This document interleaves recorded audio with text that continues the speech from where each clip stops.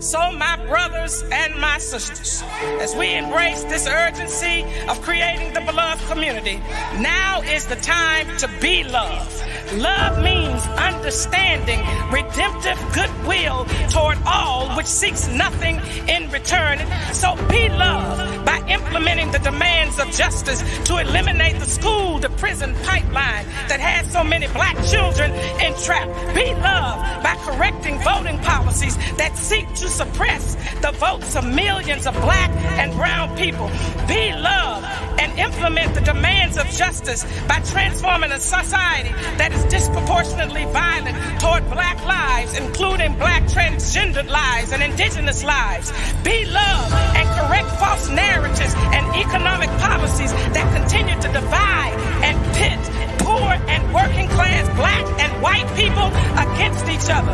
Be love and implement demands of justice where systems and structures are deconstructed and lead the way of living in community that reimagines just, humane, equitable, and sustainable policies, practices, and behaviors. Love your enemies. Bless them that curse you.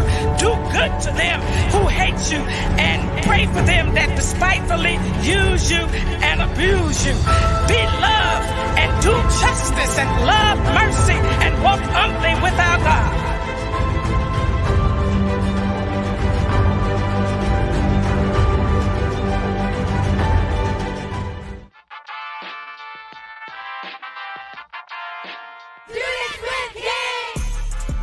Students with King serves as the King Center's flagship engagement platform for elementary, middle, and high school students, highlighting the legacies of Dr. Martin Luther King Jr., Mrs. Coretta Scott King, and the impact of the 20th century American Civil Rights Movement.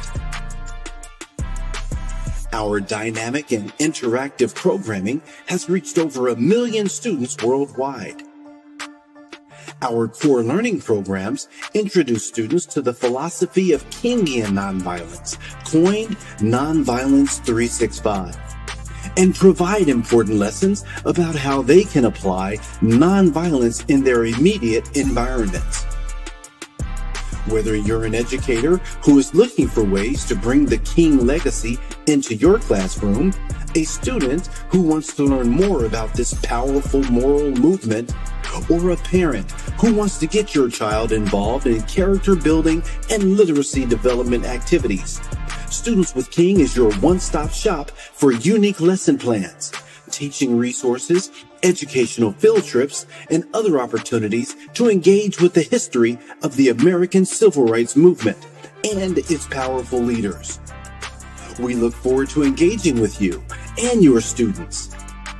Together we can build the next generation of compassionate, courageous, and conscientious leaders.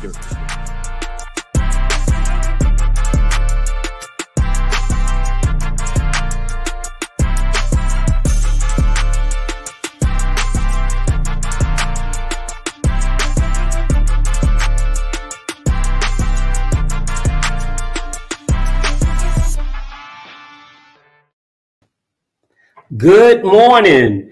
Welcome to our 2022-23 school year Student of King Reading Corner. On behalf of Dr. Bernice A. King, Dr. Kalisha Grave, and myself, thanks for joining and supporting the learning experience. Teachers, the survey is vital to the success of the Student of King program, which includes our Reading Corner, our Civil Rights Interactive panel, as well as our tours that you visit at the King Center. So please take out your phones at this time, scan the QR code, and give me feedback on this survey. Once again, thank you for joining, and I hope you enjoyed today's Reading Corner. Now, let's go to Tyreek.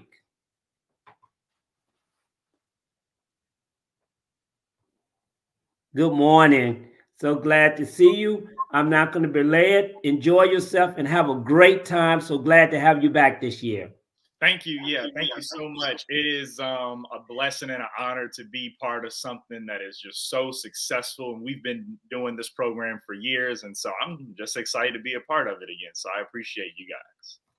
I'm excited to have you, and I'm excited to have the thousands of students and teachers that joining us this morning. So once again, thank you for coming back, and I'll turn the program over to you. Absolutely. Yeah, guys. So, those of you guys who have been tuning in for years, y'all already know the drill. We, of course, always got to start with the roll call. So, go ahead, make sure you shout out your state, your city, classroom, school. We um, we want to shout some of you guys out. I was actually looking uh, looking at the YouTube and I've seen a few. I've seen DeKalb Preparatory Academy, second grade. Um, PS 132, Williamsburg, Brooklyn. Okay, shout shouting y'all out. Avondale Elementary, fourth grade. Um, Kristen Murray from Florida.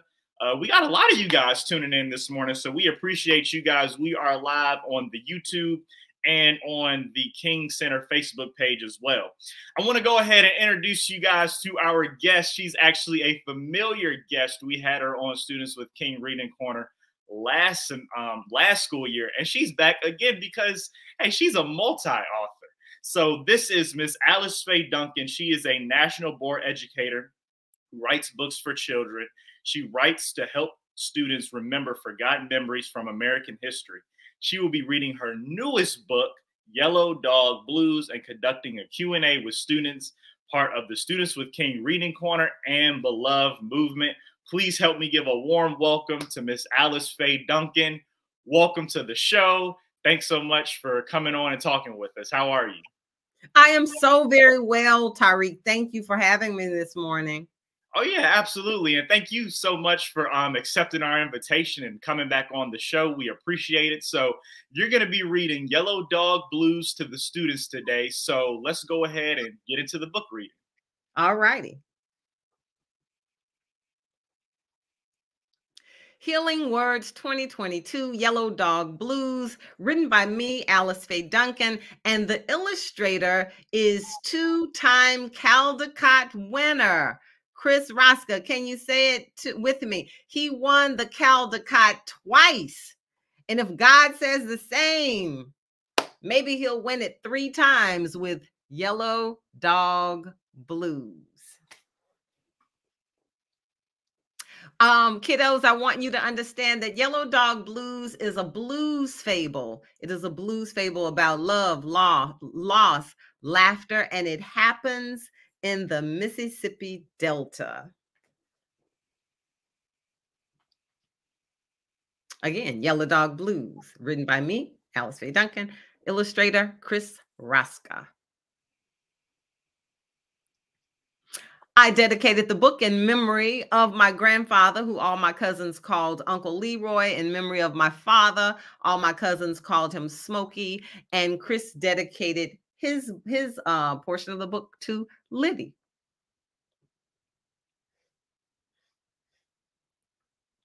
And our story goes like this I woke up early one morning before the light of day. I fixed my dog a big pot of bones and breakfast scraps. Sometimes life is a mystery, love is a mountain climb. The blues grabbed me like a shaking chill. I found my dog house, say it with me, empty.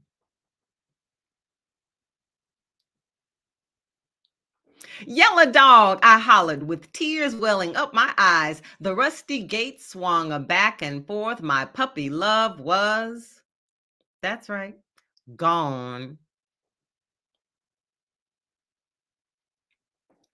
I crossed the road and asked Farmer Fred, Did Yellow Dog pass this way? Bo Willie, he replied as he fed his spotted mule.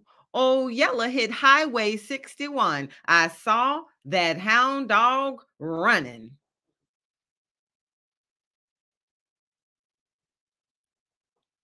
I ran toward Cleveland. That's Cleveland, Mississippi, y'all. I ran toward Cleveland on 61 and searched behind the grocery store. I searched around the garbage bin and beneath the grocery porch.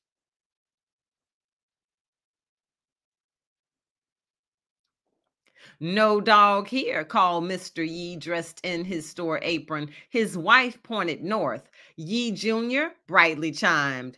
I saw that dog on Dockery Farm where Muddy Waters played the blues.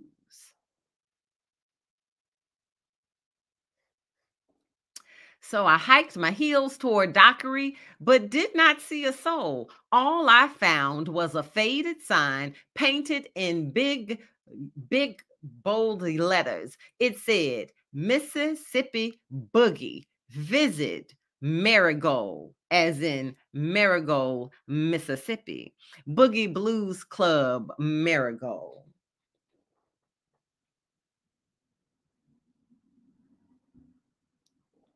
I raised my thumb and hitched a ride. Marigold was far away. It was much too far to walk or run in the Mississippi heat.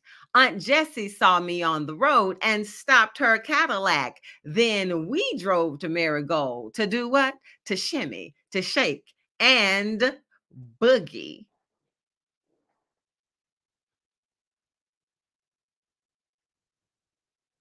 While Aunt Jessie and Mr. Willie danced under the disco lights, I searched the crowded club for my missing puppy love. He did not show up in Marigold, and my tears broke like a river. You better not stain my velvet seats, Aunt Jessie said, but she was a patient saint. She took her flower handkerchief and cleaned my snotty nose. I cried like a baby. I said, let's leave this juke joint town.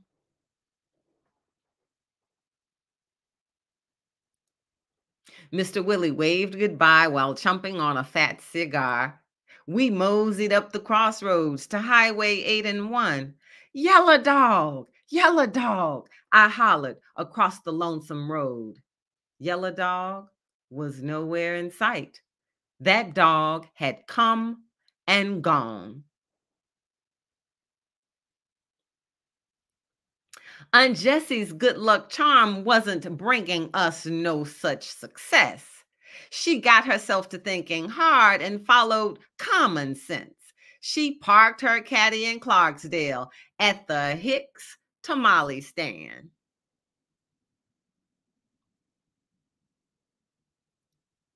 A man on the corner gave a wild report like something we never heard. He said, I saw a yellow dog. That scamp left here on a Greyhound bus. He was traveling with a band.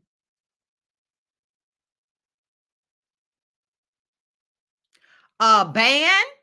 Aunt Jessie hollered to the heavens, Where can that little dog be? I studied the map across my lap, and the answer looked back at me.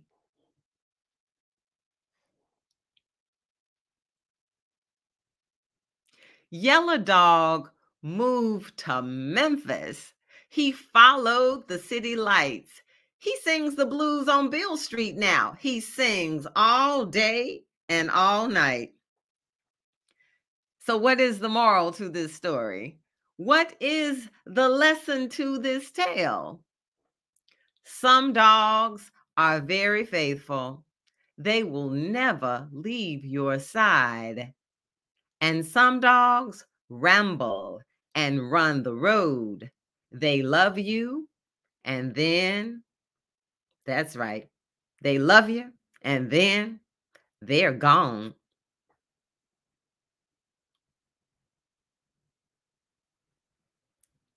And so, what you will find, kiddos and teachers, is that when you get your copy of Yellow Dog Blues, it is going to give you a history of of the delta blues music and it's then going to give you it's going to highlight for you those several sections of the blues highway that yellow dog traveled and that bo willie traveled in search of his hound dog.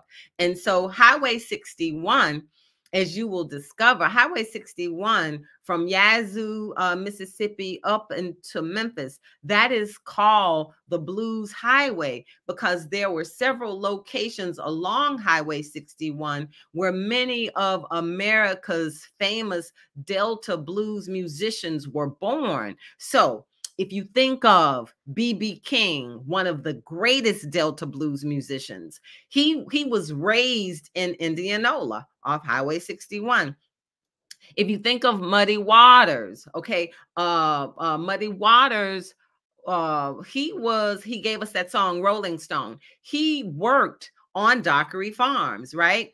Charlie Patton, who is considered the progenitor, the father of Delta Blues. Charlie Patton worked on Dockery Farms, the Marigold Blues Club. It was considered up until 2016. It's in Marigold off Highway 61. It was considered the um the last one of the last existing plantation blues juke joints. And then can we say tamales, right? In Clarksdale, Mississippi, even now, there is a fav- uh, famous tamale place called Hicks Tamales. And the reason why tamales are so important uh, to the Mississippi Delta is because Mexican migrant workers used to come to the Mississippi Delta to work in like the 20s, 30s, 40s and when those migrants came and they they um lived in community with the black sharecroppers then the sharecroppers learned how to make tamales from the mexican migrant workers and what the sharecroppers did was they did not they they they took the recipe of the mexican migrant worker and then they made it into something of their own. So you will notice that mexican tamales and mississippi tamales they have different texture they don't they're similar but they they're not the same. And so that's what you call synergy right? When two good things come together to make something uh new. Um, and so these are the types of things in the back matter of the book that kids will learn and kids will read about um, in this blues tale, Yellow Dog Blues.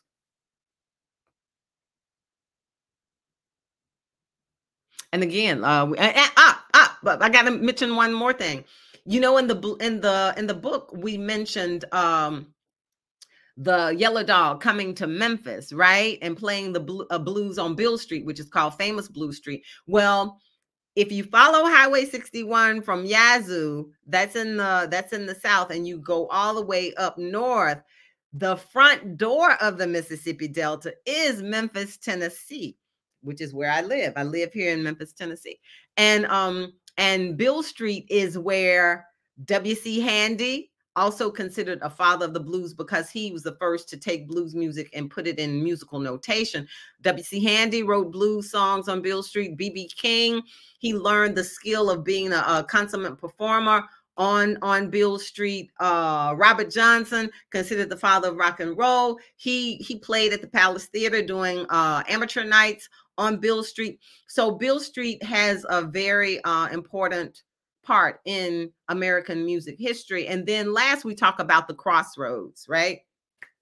And the crossroads is where supposedly Robert Johnson sold his soul to the devil. Say it with me. Didn't happen. Say it with me. Didn't happen. Robert Johnson did not sell his soul to the devil. Um, but he did become a great blues musician. So I thank you all for listening to me read Yellow Dog Blues. And I now will open it up for Q&A yes, that was um that was fantastic, and I felt like with that book, it was so educational, and like especially at the end, you were talk, talking about Yellow Dog Blues, the Delta Blues. So I mean, hey, you were you were teaching us something, so we appreciate it. Um, the students and teachers, go ahead and comment your questions in the comments on um, Facebook and um, YouTube, and we'll have a chance to get to some of those questions. I'll try to get to as many as I can. But I go ahead and start it off with this: a book like this, um, talking about you know Yellow Dog Blues, Delta Blues, and stuff like this how do you get the like where does the inspiration come from with writing books like this? Okay so like I, I live in memphis and in memphis like teachers you can write this down wdia so i live in memphis radio station wdia and when i was small WDI, WDIA on Saturday morning. They used to it used to be like Blues Saturday, right? And so they would play blues music in the morning into the afternoon. And they had famous DJs like uh, Rufus Thomas, who was a big Stax uh, music recording artist. And so I would listen to the blues there. Uh, and living in Memphis, the blues is just a big thing. You know, uh, as a teenager, I would go to Beale Street and, and blues was all around. But the idea for the book came because in 2014 I had an opportunity to get a school a teaching grant to go to the Mississippi Delta and I studied civil rights and I studied the American music history. And so at, at, at one point I wanted to do a book about the boll weevil um the boll weevil crisis where boll weevil attacked cotton in america. And so blues musicians started singing boll weevil blues songs right? Y'all can look that up. You can have kids listen to boll weevil blues songs. Um but then but that story never really materialized um nicely so that it could be a published book. And so i thought well what about one day i was driving on highway 61 and I was passing, I was on my way to the BB King uh, Indianola Blues Museum. And we were passing all these like landmarks, right? That I knew from my from my studies in, in 2014. And I thought, you know what? What would it be like if um a dog ran away and then a kid is following the dog up the the blues highway because i wanted to introduce students to those famous landmarks. So by having the dog get lost and running up the highway then i could take students to those different landmarks. And so it was just an idea that the good lord gave to me um and it worked. And and so what happened also the way i was able to get a caldecott illustrator is that in 2016 in 2016, I wanted to do something intentional in the name of racial reconciliation. And so what I did was I said, you know what? Most times in publishing, they most times they will pair a black writer with a black illustrator. So I said, I want to do something intentional in the name and under the banner of racial reconciliation because at that time you know what was going on the the presidential election was going on and and there was just a great racial divide even now as it is in america and it, i think that divide has now grown wider and wider and so we have to be more intentional about th- doing things to bring a variety of races together a variety of cultures together. We have to be intentional about operating in unity. We have to be intentional about being a person of peace and one who is a bearer of peace, right? Or yeah, bearer, not barrier, but bearer of peace. Um and then Miss so we have a question now, Miss McCormick's fourth grade class. She says, Is this whole book based on a true story? That's from Lily in her 4305. Ah, interesting. That is like such a fabulous question. Oh my God, that is such a fabulous question because guess what? It's not really based on a true story, right? I, I I had a beagle once, but the beagle didn't run away. I think my parents gave the beagle away because I was not uh, caring for it. I was a small child. It was their fault. They shouldn't have given a dog to a small child. How was I going to care for it? But anyway, but no. So when I was, I was one day I was reflecting on this story, and I said, "What is this story really about?" Because it's a metaphor. I'm like, I'm knowing this story is a metaphor. Like, what is about? And it came to me you know the moral of the story is some dogs stay and then some dogs leave right? And mm-hmm. every it came to me that this is a story about relationships. It's a story about friendships.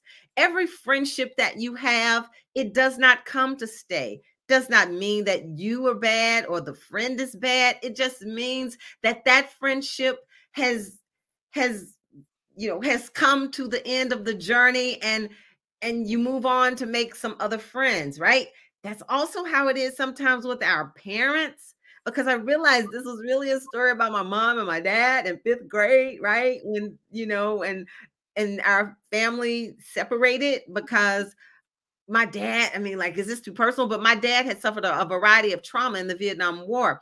And while he loved me and while he loved my mom very much, he just could he could not stay in the confines of of the family environment because he was dealing with trauma and so he had to go to live alone he just he, and he had to go and heal right and so this book is really about relationships letting children know you know those blues trail locations right but also letting children know that hey all friendships don't come to stay all relationships don't come to stay and that's okay because life is about what Life is about change. Life is about growing. Life is also about letting go sometimes, right? Right?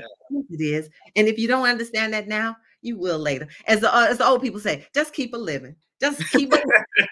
Absolutely. And we actually got a question from Dana Farrar Pluff.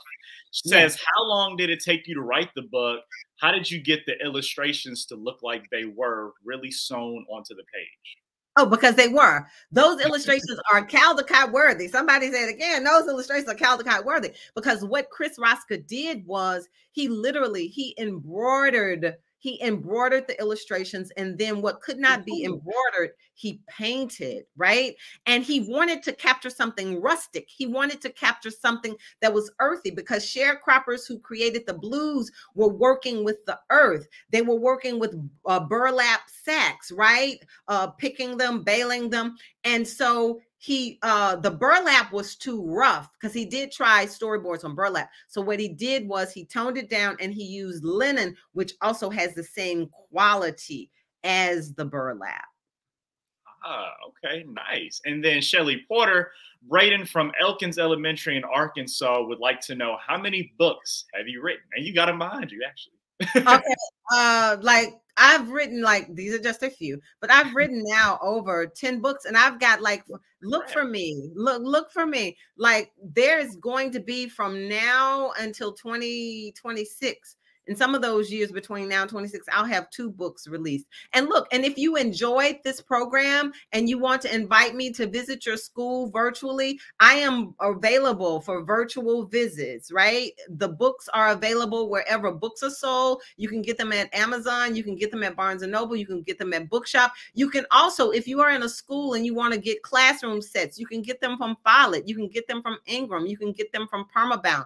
Uh, my books are available. I've got a book on the civil rights I can't remember. Man, I got a book on Memphis Martin and the Mountaintop, the sanitation, the sanitation strike and the assassination of King, which the King Center figures prominently in their bookstore. Opal Lee, I've got a new Juneteenth book that was did, you know, that was all over the place. So if you want to know about a freedom fighter who is living, Opal Lee, then you can get my book, uh, Opal Lee, and what it means to be free, which is the story of Juneteenth awesome. And yeah, and now Miss McCormick again coming back with another question. She says, "When did you realize you were passionate about becoming an author?" And that's from Navia.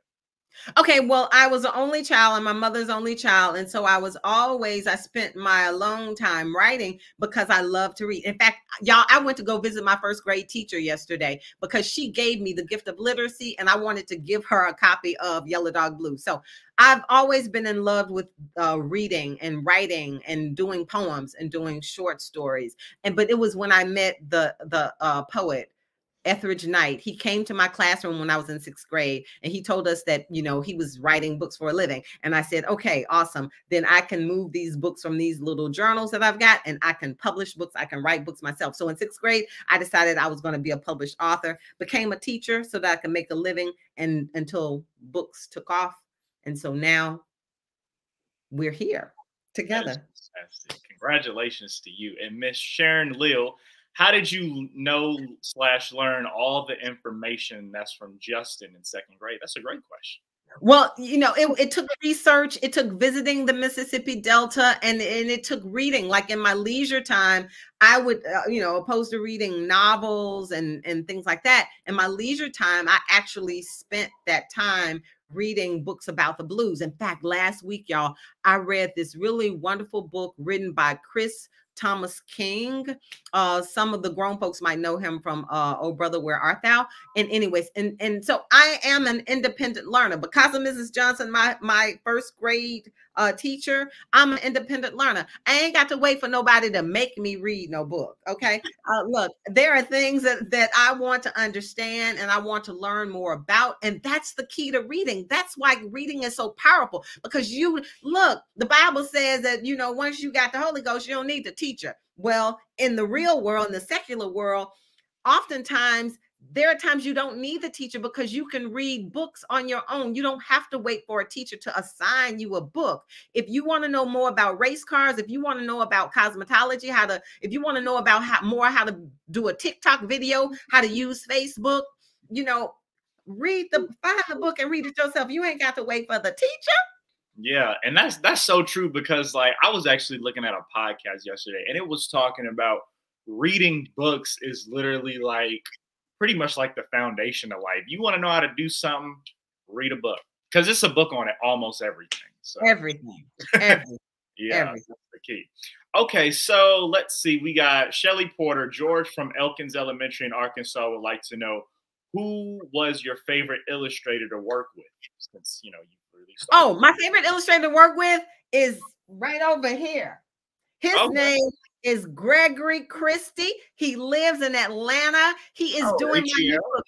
Yeah, look, I am um I'm writing a new book in 2023. This time next year in 2023, I am doing a new book about Coretta Scott King. and It is called Coretta's Journey: The Life and Times of Coretta Scott King and Chris Raschka is the illustrator. And I just talked to my editor last week and I said, How are the illustrators, how are the illustrations going? And here, write this word down. It's a beautiful word. She said the illustrations are majestic. And I said, Of course they're majestic. Why? Because it's about who? Coretta Scott King. Majestic. Hey, yeah, that's fantastic. Well, Miss Alice, that's all the time we have for today. Thank you so much for coming on um, the Students with King Reading Corner. It was a pleasure having you. It, it was, was, a pleasure being with you. Oh, yeah. And also, hey, go to my website, alicefayeduncan.com if you're interested in virtual um in virtual visits. I'm available. Uh, go anywhere where books are sold to get any of my books. Oh, activity guides. Activity guides for all of my books are, are located on my website. If you need an activity guide to Yellow Dog Blues, it's located on my website. And also, y'all do the survey. If you enjoyed our time here, you better take your phone and do the survey so we can get some good programming at the King Center this year and all the other years to come. Yes, absolutely. And thank you once again so much for coming on.